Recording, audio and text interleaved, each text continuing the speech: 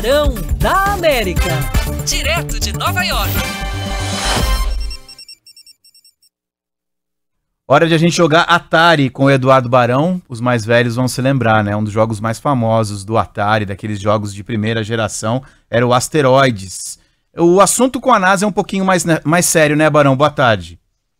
Fala, Coutinho, eu não lembro muito bem que é Atari, não é da minha época, sabe é. muito bem disso, né?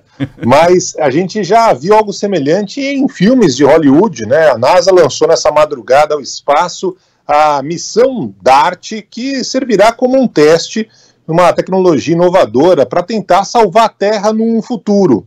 A sonda saiu da Califórnia, acoplada ao foguete Falcon 9 da SpaceX, para atingir no ano que vem o Dimorphos, que é um pequeno asteroide que está distante 11 milhões de quilômetros da gente e não representa nenhuma ameaça ao nosso planeta. A ideia da NASA não é destruir esse asteroide, sim desviá-lo da rota e esse choque está previsto para acontecer entre setembro ou outubro do ano que vem. Se a experiência der certo, a NASA teria condições de defender a Terra né, de uma ameaça que possa vir a acontecer. Alguns cientistas, Coutinho, dizem que o asteroide Bennu pode chegar a colidir com a Terra, tem uma pequena chance de atingir a Terra no ano de 2300. Até lá, eu, você e a Gabi estaremos bem velhinhos. Né?